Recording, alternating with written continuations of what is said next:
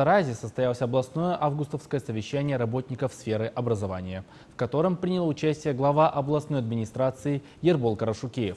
Встреча учителей началась с обсуждения нововведений в учебной системе этого года, а именно цифровых инноваций в образовании. Также на совещании были определены лучшие образовательные учреждения и награждены педагоги, внесшие значительный вклад в развитие сферы образования. О результатах прошедшего учебного года и планах на перспективу смотрите далее.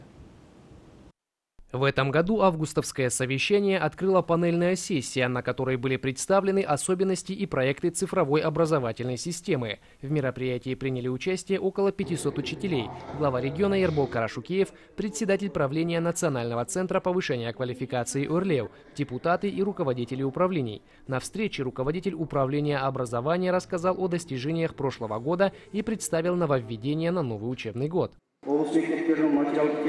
В настоящее время в области решается вопрос по ликвидации аварийных и трехсменных школ. К тому же занимаемся материально-техническим обеспечением школ. Отмечу, что в этом году школы окончили 12 604 ученика. Из них 809 учеников окончили учебное заведение с отличием.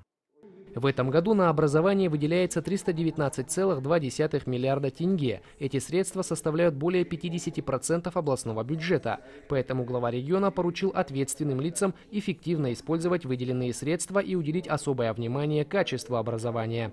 Ербол Карашукеев также отметил, что цифровизация образования – это требование времени, и все государственные школы региона обеспечены доступом к интернету.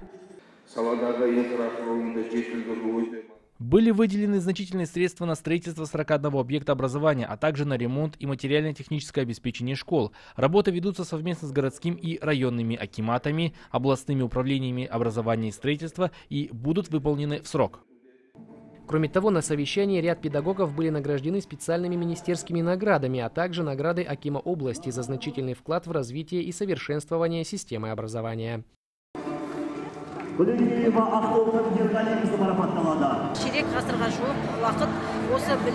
Сегодня меня наградили. За это я выражаю огромную благодарность министру просвещения.